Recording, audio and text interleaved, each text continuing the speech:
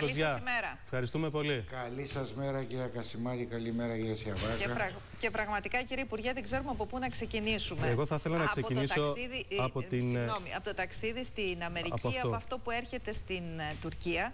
Να ξεκινήσουμε λοιπόν για να μην χαλάσουμε την καρδιά στο Θάνο από το ταξίδι σας στην Αμερική όπου εκεί είπατε μετά τις συναντήσεις που είχατε και με το Γενικό Γραμματέα ότι οι συναντήσεις αυτές απέδειξαν τη μεγάλη αναβάθμιση της Ελλάδας και της ελληνικής εξωτερικής πολιτικής.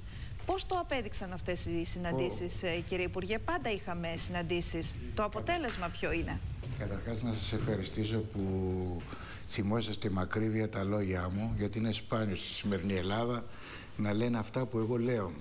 Δεύτερον, έχουμε μια μεγάλη διαφορά. Μέχρι πριν δύο χρόνια η Ελλάδα πηγαίνοντας στον ΟΗΕ ζητούσε πάρα πολλά ραντεβού και συναντήσεις. Φέτος δεν ζητήσαμε ούτε μία από τις συναντήσεις που έγινε γιατί είχαμε τριπλάσια αιτήματα άλλων κρατών για συναντήσεις από αυτά που μπορούσαμε να ικανοποιήσουμε. Από αυτό το γεγονός και μόνο δείχνει τη διαφορά και αναβάθμιση της χώρας. Δηλαδή άλλο πράγμα να ψάχνεις συνομιλητές και άλλο να μην μπορείς να ανταποκριθείς στα αιτήματα των συνομιλητών σου. Ναι. Τρίτο θα έλεγα ότι είχε μεγάλο ενδιαφέρον ότι είχαμε σειρά συναντήσεων οι οποίες δεν ήταν διμερείς αλλά ήταν πολυμερείς, τριμερείς και τετραμερείς. Είχαμε ας πούμε τη συνάντηση που είναι σε ένα νέο σχήμα Κροατία, Ρουμανία, Βουλγαρία, Ελλάδα που είναι το ε, σχήμα συνεργασίας των κρατών μελών της Ευρωπαϊκής Ένωσης στην Ανατολική Ευρώπη σχήμα που δεν υπήρχε στο παρελθόν και οι αποφάσεις του είναι πάρα πολύ ενδιαφέρουσες έχουμε αποφασίσει παραδείγματος χάρη να πάμε μαζί και οι τέσσερις με επικεφαλή σε μένα να πάμε να επισκεφτούμε τη Σερβία, το Μαυροβούνιο, τη Βοσνία Ερσεγοβίνη και θα το συνεχίσουμε με όλα τα Βαλκάνια. Αυτές είναι νέες μορφές συνεργασίας. Δεν αναφέρομαι στις τριμερείς που έχουν πληθύνει από μία που ήταν στο παρελθόν σε πέντε. Επίσης είχαμε τη δεύτερη συνάντηση των Υπουργών Εξωτερικών στο Φόρουμ Αρχαίων Πολιτισμών που είναι από την Κίνα μέχρι την Περού και τη Βολιβία ένα φόρουμ, ένα, μια διάσκεψη που μας δίνει παγκόσμιο ρόλο και όπως ξέρετε είναι μια από τις 15 διεθνείς οργανώσεις που φτιάξαμε τα 2,5 χρόνια που είμαι στο Υπουργείο. Επίσης νομίζω ότι στη διεθνή αναγνώριση μπορεί κανείς να συνυπολογίσει και τις βραβεύσεις μου από παγκόσμιες οργανώσεις ε, ε, λαών. Ναι. Δηλαδή ήταν το Παγκόσμιο Συμβούλιο των Εβραίων, το Παγκόσμιο Συμβούλιο των ε, Κυπρίων και το Αμερικάνικο Ομοσπονδία των Κυπρίων. Όλα αυτά συνιστούν μια θα έλεγα αυταπόδεικτη αναβαθμισμένη παρουσία της χώρας. Αναλαμβάνει η χώρα μας, ε, είναι σε εξέλιξη ενδεχομένως αυτό που ρωτάω, έναν ρόλο γέφυρας Ανατολής και Δύσης, Βορρά και Νότου. Βλέπουμε τη συμμαχία του Νότου. Βλέπουμε την τριμερή που είπατε. Βλέπουμε την επικοινωνία με την Κίνα. Έχει έναν τέτοιο ρόλο η Ελλάδα και μπορεί να τον αναλάβει με επιτυχία; Άκουσε να σου πω. Η Ελλάδα έχει ένα πολυδιάστατο ρόλο. Και ο πολυδιάστατος ρόλος σημαίνει ότι ως κράτος της Ευρωπαϊκής Ένωσης αποτελεί ταυτόχρονα τη γέφυρα, όπως σωστά είπατε, και το διαμεσολαβητή με τις αναδυόμενες οικονομίες και νέες ισχυρές δυνάμεις του 21ου αιώνα. Επίσης πρέπει να σας πω ότι με τις πολυμερείς μας, τις τετραμερείς και τις τριμερείς που έχουμε αναπτύξει, είναι πέντε οι τριμερείς, τρεις οι τετραμερείς, έχουμε καταφέρει να φτιάχνουμε σχήματα ισορροπίας γεωπολιτικών και γεωστρατηγικών στην περιοχή και να αναπτύσσουμε προς όφελος του λαού μας τις οικονομικές σχέσεις με όλες αυτές τις χώρες. Νομίζω ότι ο ρόλος της Ελλάδος ε, είναι ο ρόλος ενός κράτους με μακρά ιστορία, με αναγνώριση αυτής της μακράς ιστορίας. Δεν είναι παραδείγματος χάρη τυχαίο ότι οι Κινέζοι μας θεωρούν το μόνο αδελφό λαό. Θεωρούν τον εαυτό τους ως το κέντρο του πολιτισμού της Ασίας και εμάς ως το κέντρο του πολιτισμού του δυτικού κόσμου. Και αξιοποιώντας αυτή την πολυδιάστατη εξωτερική μας πολιτική, όλα τα προσόντα που έχει η χώρα, αντί η εξωτερική πολιτική να βυθίζει ή να συμβάλλει σε πιέσεις κρισιακές πάνω στη χώρα, αποτέλεσε μοχλό ε, αναβάπτισης της χώρας στο γεωπολιτικό, γεωστρατηγικό της ρόλο και ενίσχυσή της σε όλους του άλλους τομείς. Να πάμε και στο κομμάτι των ελληνοτουρκικών σχέσεων. Ήθελα να σας ρωτήσω, κύριε Υπουργέ, σε ποιο στάδιο βρίσκονται και σε ποιο είναι, ποιο είναι το επίπεδο των ελληνοτουρκικών σχέσεων αυτή την ώρα που μιλάμε. Ξέρουμε για την ε, συνάντηση με τον κύριο Τσαβούσογλου στις 24 Οκτωβρίου, αλλά στο πρόσφατο παρελθόν είδαμε και μια έντονη αμφισβήτηση της ε, Τουρκίας, μάλιστα σε σημείο να αμφισβητείται η ίδια η συνθήκη της Λοζάνης. Ποιο είναι το επίπεδο των ελληνοτουρκικών σχέσεων; Κοιτάξτε, οι ελληνοτουρκικές σχέσεις είναι καλές, αλλά δεν είναι τόσο καλές όσο εμείς θα τις θέλαμε. Εμείς θέλουμε μια Τουρκία ευρωπαϊκή, διότι μια ευρωπαϊκή Τουρκία θα είναι η μεγάλη κερδισμένη η Ελλάδα, δηλαδή θα είναι μια Τουρκία δημοκρατική, εξευρωπαϊσμένη. Ξέρουμε ότι είναι μακρύς ο δρόμος. Έχω εξηγήσει στους Τούρκους συναδέλφους μου ότι η προοπτική η ευρωπαϊκή της Τουρκίας δεν εξαρτάται από την Ελλάδα τόσο όσο από τους ίδιους. Θέλουν να εκδημοκρατήσουν τη χώρα τους, θέλουν να την εξευρωπαίσουν. Τα ερωτήματα είναι στους ίδιους. Οι οικονομικές μας σχέσεις είναι εξαιρετικές. Η ανάπτυξη του τουρισμού με τα προβλήματα αυτής της εβδομάδας με τα νησιά που παρουσιάστηκαν. Βέβαια, το απαγορευτικό ναι, από τις 12 ναι, Οκτωβρίου. Ναι, ναι, λόγω των προστήμων που έχουν πέσει, αλλά τα πρόστιμα τα προβλέπει η Ευρωπαϊκή Νομολογία. Ε, με εξαίρεση αυτό η οικονομική ανάπτυξη των σχέσεων μας, δηλαδή και ο, ο τουρισμός, βρίσκεται σε καλή πορεία. Σε όχι τόσο καλή πορεία βρίσκεται η αξιοποίηση των καναλιών επικοινωνίας που αφορούν τις διαπραγματεύσεις για μέτρα οικοδόμησης εμπιστοσύνης σε, ιδιαίτερα στο στρατιωτικό τομέα, για μέτρα οικοδόμησης εμπιστοσύνης στον οικονομικό τομέα, για τις ερευνητικέ όσον αφορά την εφαρμογή του διεθνούς δικαίου ε, στην, ε, στο Αιγαίο σε όλη την έκταση και ούτω καθεξής. Εκεί έχουμε δυσκολίες. Και νομίζω ότι αυτές οι δυσκολίες έχουν να κάνουν με το ότι στην Τουρκία υπάρχει ένας, θα έλεγα ως καθηγητής, όχι ως υπουργός, αναθεωρητισμός, ε, μια διάθεση μια αποδοχής ε, σε όλη την έκταση του διεθνούς δικαίου. Αλλά δεν μπορούν να ξεφύγουν από αυτό το δίκτυο. Δεν είναι εύκολο κύριε Υπουργέ, ήδη έχει αρχίσει και πανηγυρίζει για το αποτέλεσμα των γερμανικών εκλογών. Λέει ότι δεν θα σχηματιστεί κυβέρνηση. Βλέπουμε και παρατηρούμε μια κλιμάκωση των γερμανοτουρκικών σχέσεων. Εσείς ετοιμαζόσαστε για το ταξίδι Των εντάσεων στις σχέσεις. Ακριβώς. Ναι. Λοιπόν, εσείς ετοιμαζόσαστε για το ταξίδι σας ε, στις 24 Οκτωβρίου στην Τουρκία. Θεωρείτε ότι εμείς ως Ελλάδα πρέπει να αναζητήσουμε, να ακολουθήσουμε έναν άλλον τρόπο επικοινωνίας με την Τουρκία; Κοιτάξτε, καταρχάς πρέπει να σας πω όταν, όταν δύο γειτονικές χώρες δεν αναπτύσσουν τις διπλωματικές του σχέσεις, τότε τα περιθώρια εντάσεων αυξάνουν. Δεν αποκλείονται, ασφαλώς δεν αποκλείονται, αλλά αυξάνονται. Και η ανάλυση που έχουμε κάνει στο Υπουργείο Εξωτερικών είναι ότι η Τουρκία είναι μια νευρική δύναμη. Δηλαδή είναι μια δύναμη γεμάτο αντιφάσεις και αντιθέσεις, όπου το προσωπικό της είναι ανάμεσα στην αλαζονία καμιά φορά και στην ευρικότητα του φόβου και της ανασφάλειας. Αυτός ο αναθεωρητισμός και η ευρικότητα θα, μπορούσε, θα μπορούσαν να οδηγήσουν σε ένα επεισόδιο, θερμό επεισόδιο στο Αιγαίο τύπου ε, Ήμια. Εάν δεν αναπτύξουμε τις διπλωματικές μας σχέσεις και δεν φτιάξουμε τα κανάλια επικοινωνίας καλύτερα από ό,τι στο παρελθόν, πάντα μπορεί να γίνει ένα ατύχημα ή ένα λάθος. Θέλω να σας σημειώσω ότι μεγάλο ποσοστό των Τούρκων πιλότων είναι πιλότοι οι οποίοι είτε προέρχονται χωρίς πείρα από τις σχολές τους είτε είναι παλιοί πιλότοι που επέστρεψαν στην υπηρεσία. Αυτά είναι άνθρωποι οι οποίοι τους λείπει η πρόσφατη εμπειρία και μπορούν ακόμα, δεν είναι μόνο το κράτος νευρικό, μπορούν να αντιδράσουν και αυτοί νευρικά. Γι' αυτό εμείς λέμε στους Τούρκους ότι πρέπει να μαζέψουν αυτές τις προκλήσεις όχι μόνο γιατί παραβιάζουν το διεθνές δίκαιο, αλλά γιατί οι παραβάτες του διεθνούς δικαίου είναι σχετικά άπειροι ή αν είχαν εμπειρία είναι πολύ μακριά η εμπειρία τους στη ζωή τους και μπορούν εύκολα να οδηγηθούν σε ένα λάθος ή σε ένα ατύχημα και Εμείς πρέπει είμαστε, να είμαστε σοβαροί. έτοιμοι και σοβαροί όπως το είπατε να αντιμετωπίσουμε και να αντιμετωπίζουμε αυτές τις προκλήσεις και στο επίπεδο της ψυχραιμίας αλλά και στο επίπεδο της άμεσης αντίδρασης, έτσι. Όπως έχετε παρατηρήσει δεν υπάρχει καμιά πρόκληση της Τουρκίας και ενώ τώρα σε στρατιωτικό, αεροπορικό ιδιαίτερα επίπεδο και ναυτιλιακό που να μην έχει την κατάλληλη απάντησή του. Αυτό που εμείς κάνουμε σαν διπλωμάτες είναι να είμαστε διπλωμάτες, δηλαδή να επιδεικνύουμε ψυχραιμία, υπομονή, αλλά και μακρά πνοή. Διότι συχνά και εγώ προσωπικά προκαλούμε από την τουρκική πλευρά με διάφορες δηλώσεις, πολλοί ίσως να θέλανε να βρίζομαι καθημερινά, αλλά ξέρετε οι σχέσεις δύο κρατών ε, απαιτούν κάποιος από τους δύο να είναι πιο σοβαρός από τον άλλον. Και έχω αναλάβει αυτό το ρόλο εγώ. Ε, κύριε Υπουργέ, ξεκινώντας την κουβέντα μας, μιλήσατε και υποστηρίξατε, μιλήσατε για την αναβάθμιση της ελληνικής εξωτερικής πολιτικής. Ωστόσο, η απάντηση από τον Οργανισμό Ηνωμένων Εθνών για το Κυπριακό είναι περισυλλογή. Και επίσης συνεχίζουν να εκκρεμούν, να υπάρχουν εκκρεμότητες για το θέμα των Σκοπίων. Η αναβάθμιση της εξωτερικής πολιτικής δεν σημαίνει ότι ο ΙΕ δεν μπορεί να περάσει μια φάση περισυλλογής.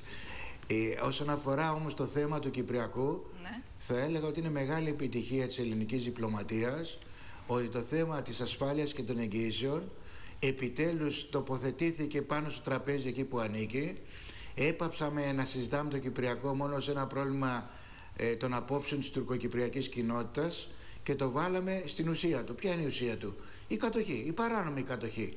Και έχει μεγάλο ενδιαφέρον ότι ο ΙΕ έχει αποδεκτεί ότι δεν μπορεί να υπάρξει λύση του Κυπριακού με εγγυήσεις και παρεμβατικά δικαιώματα. Εγώ προσωπικά είμαι πολύ ευχαριστημένος και ικανοποιημένος ότι ο Γενικός Γραμματέας του ΙΕ υιοθέτησε τις διατυπώσεις μου και τις προτάσεις μου ακόμα και τη διατύπωση ότι Κύπρος πρέπει να γίνει κανονικό κράτος. Αυτό που κάνει καταπληκτική εντύπωση είναι ότι αυτοί που επιτίθενται στην ελληνική εξωτερική πολιτική επικαλούνται τις καλές τοποθετήσεις του Γενικού Γραμματέα του ΙΕ λες και αυτές μετά από 50 χρόνια ανυπαρξίας έπεσαν από κάποιον ουρανό και κάποιο θεό στον εγκέφαλό του. Αυτές οι θετικές τοποθετήσεις του ΙΕ είναι αποτέλεσμα της ελληνικής εξωτερικής πολιτικής και της αναβαθμισμένης διαπραγματευτικής δύναμης. Είναι ζωντανή η διαδικασία, γιατί μετά το κράνο. Πάμε στα Σκόπια τώρα που με ρωτήσατε. Ναι. Στα Σκόπια ε, θα περιμένουμε τις εκλογές του Οκτώβρη, 15 αν έχει δεύτερο γύρο, 22 το Οκτώβρη. Τις δημοτικές λέτε. Ναι, θα πρέπει η ίδια η κυβέρνηση να αξιολογήσει αν ενδυναμώνεται ή δεν ενδυναμώνεται και ανάλογα η κυβέρνηση των Σκοπίων να δείξει αν θέλει και μπορεί να κάνει μια ουσιαστική διαπραγμάτευση για τη λύση του νοματολογικού. Θέλω να σας πω το εξής. Το νοματολογικό από πίσω του κρύβει ένα πρόβλημα αλυτρωτισμού. Ε, ελπίζω και πιστεύω ότι θα υπάρξουν μέτρα από την πλευρά τους περιορισμού του αλυτρωτισμού.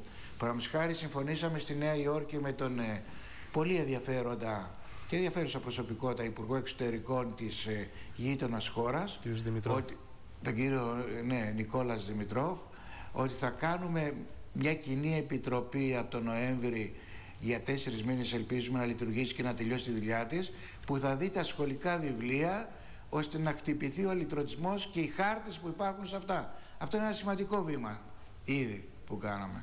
και άλλα πολλά βήματα που είμαστε στη διαπραγμάτευση. Ε, επειδή βάλατε μια σειρά από θέματα ε, και η Νίνα τα έθεσε, ήθελα να ρωτήσω αν η, η διαδικασία του Κυπριακού είναι ζωντανή, μπορούμε να το πούμε αυτό. Ήθελα επίσης να ρωτήσω εάν ένα, στο... ένα, ένα, ένα. ένα, ένα. Εντάξει. Στο Κυπριακό από την αρχή διατύπωσα σε γράμμα μου στον κύριο Έιντεξ, και στο Γενικό Γραμματέα κύριο Κουντέρες, ότι πρέπει να είναι μια διαδικασία open-ended, δηλαδή ανοιγικτή τέλους. Ναι. Κατά συνέπεια, γι' αυτό μετά από τη Γενέβη δεν έκλεισε η διαδικασία και γι' αυτό παρά τα όσα είπαν αρχικά οι Τούρκοι και οι Τουρκοκύπροι μετά από την Ελβετία, ο ΙΕ θεωρεί ότι η διαδικασία είναι ανοιχτή, αλλά πρέπει να υπάρξει αυτή τη στιγμή και για την τρίτη, ας πούμε, φάση, πολύ καλύτερη προετοιμασία όσον αφορά ιδιαίτερα τις τουρκικές θέσεις. Το είπε και ο κ. Αυτό, αυτό. Αυτό το ζητούσα εγώ, όπως θυμόσαστε, από τον Νοέμβριο του 2016 και εν ώψη των δύο προηγούμενων διασκέψεων. Και αυτό το θεωρώ μια κατά ανάγκη επιτυχία μας. Ότι το αποδέχονται πια όλοι. Άρα ότι δεν μπορούμε να πηγαίνουμε χωρίς προετοιμασία. Είναι ανοιχτή, μας λέτε. Για το Σκοπιανό ήθελα να ρωτήσω αν ισχύει το κεκτημένο από το Βουκουρέστι του 2008 ότι τα Σκόπια, αν δεν λύσουν το ζήτημα της ονομασίας, δεν εντάσσονται στην Ευρωπαϊκή Ένωση, δεν εντάσσονται στον ΟΗΕ. Στον ΟΗΕ έχουν ενταχθεί με την στο, στο ΝΑΤΟ, συγγνώμη, στο ΝΑΤΟ. Στο ΝΑΤΟ ε, η, η γείτονος φιλική μας χώρα, όπως λέω εγώ, γιατί οι λαοί μας έχουν πολύ φιλική σχέση, δεν μπορεί να ενταχθεί σε διεθνή οργανισμό αυτού του τύπου όπως είναι το ΝΑΤΟ και η Ευρωπαϊκή Ένωση χωρίς να έχει λυθεί το ονομαστικό όπως επιτάσσουν οι συμφωνίες δεκαετίας του 90 και η ενδιάμεση συμφωνία. Ε, Επιτάσσει να λυθεί. Η αδυναμία της ενδιάμεσης συμφωνίας ήταν ότι προϋπόθεται ότι σύντομα θα λυνόταν το ονοματολογικό και γι' αυτό έδινε τη δυνατότητα να ετάται η γείτονας χώρας σε διεθνείς οργανώσεις και δεν προέβλεπε, αυτή είναι μια δυναμία της, τι μέτρα θα ληφθούν αν η γείτονος χώρα δεν διαπραγματεύεται ουσιαστικά. Γιατί όλες αυτές τις δεκαετίες δεν διαπραγματεύτηκε. Διαβάσαμε στον τύπο ότι μία πρόταση της Αθήνας είναι ενδεχομένως η Μακεδονία του Βαρδάρη. Υπάρχει τέτοια ε, πρόταση στο τραπέζι; Εμείς, εμείς προτάσεις στο τραπέζι δεν έχουμε κάνει με τρόπο που να αποτελούν αντικείμενο δημοσιευμάτων.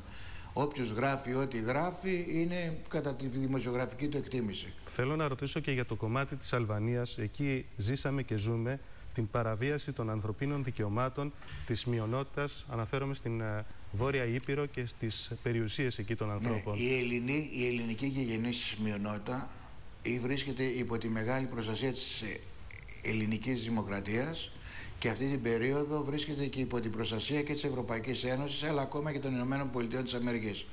Όπως γνωρίζετε η Αλβανία είναι υποψήφια χώρα για κράτος μέλος της Ευρωπαϊκής Ένωσης. Δυστυχώς, όπως και με την γείτονα χώρα στο βορρά των Σκοπίων, οι υποψηφιότητες αυτές δόθηκαν άνευ όρων. Τώρα, για να ανοίξουν οι διαπραγματεύσεις, άνευ όρων από τις προηγούμενες κυβερνήσεις, έτσι, αλλά για να ανοίξουν οι διαπραγματεύσεις, θα πρέπει να ικανοποιούν ορισμένες προαπαιτούμενα. Στην Αλβανία η Ευρωπαϊκή Επιτροπή έβαλε προαπαιτούμενο την ε, μεταρρύθμιση του δικαστικού συστήματος.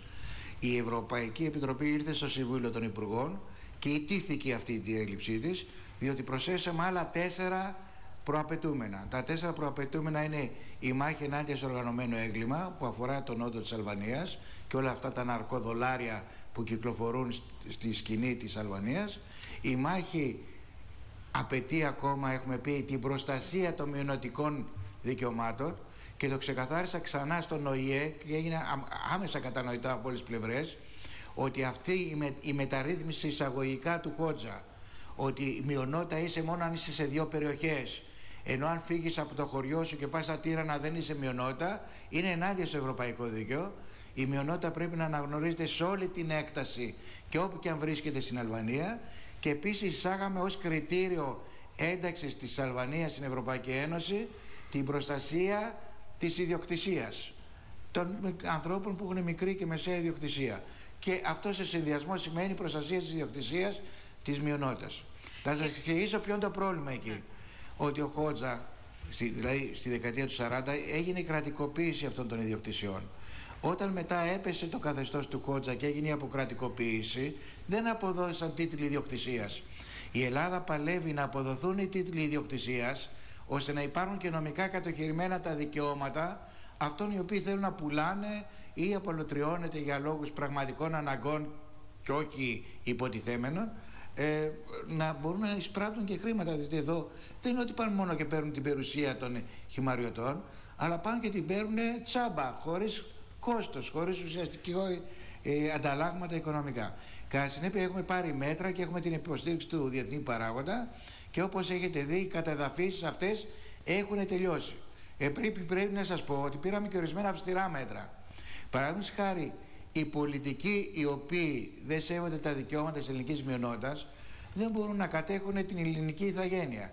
Δυστυχώς δεν ξέρω τι κάνανε οι προηγούμενες κυβερνήσεις και η ελληνική ηθαγένεια έχουν διάφοροι παράξενοι τύποι ανάμεσα στους οποίους είναι και ο Δήμαρχος Χιμάρας που προωθεί αυτά τα σχέδια και όπως ξέρετε εμείς του την πήραμε την ηθαγένεια. Διότι δεν μπορεί να είσαι Έλληνας υπήκος, Αλβανός υπήκος και να κυνηγάς τα δικαιώματα της ελληνικής μειονότητας. Αυτές είναι οι πρωτοφανείς καταστάσεις που βρήκα εγώ ως Υπουργός Εξωτερικών στο χώρο αρμοδιότητάς. Θα μας πείτε και για το ταξίδι του Πρωθυπουργού στις Ηνωμένες Πολιτείες, αν είναι σε εξέλιξη μια διαδικασία προετοιμασίας. Είμαστε σε εξ... Να σας πω. Ναι. Είμαστε σε μια εξέλιξη συζητήσεων με τους Αμερικάνους και θα ξέρουμε μέχρι την αρχή της άλλης εβδομάδας ε, την ακριβή ημερομηνία για το ταξίδι του Πρωθυπουργού. Εγώ έχω ένα δεύτερο ταξίδι στις Ηνωμένες Πολιτείες Αμερικής γιατί είμαι καλεσμένος να κάνω την ετήσια ομιλία στο Φλέτσερ, στο Πανεπιστήμιο του Φλέτσερ. Πότε είναι αυτό; Είναι στις 17 ε, του Οκτώβρη. 16 του Οκτώβρη έχω ομιλία στο Χάρβαρντ και μετά έχω συνάντηση με το Συμβούλιο Εθνικής Ασφαλείας και το Σύμβουλο Εθνικής Ασφαλείας στην Ουάσιγκτον. Αν τυχόν συμπέσουν οι ημερομηνίες, προηγείται η επίσκεψη του Πρωθυπουργού. Γίνεται προσπάθεια να, να συναντηθεί και με τον κύριο Τραμπ, ε, κύριε Κοτζιά. Ο κύριος Πρωθυπουργός θα πάει σε ταξίδι στην Αμερική μόνο για να συναντήσει τον κύριο Τραμπ. Ενώ θα συναντήσει και άλλους, αλλά μόνο με την προπόθεση ότι θα δει τον κύριο Τραμπ. Το πιο σημαντικό είναι αυτό. Ωραία. Όχι, λοιπόν. είναι η συμφωνία. Θα γίνει η συνάντηση, ναι. αλλά πρέπει να δούμε τις ημερομηνίες. Το βλέπετε μέσα στον Οκτώβριο αυτό να γίνεται, κύριε Υπουργέ; Διερευνάμε τις ημερομηνίες. Μάλιστα. Σας ευχαριστούμε, πολύ. Να είστε καλά. να είναι η μέρα σας καλή και πατριωτική. να είστε καλά. Σε εσάς το ίδιο. Ευχαριστούμε. Γεια σας. Ευχαριστούμε κύριε Κοτζιά. Λοιπόν, διάλειμμα. διάλειμμα.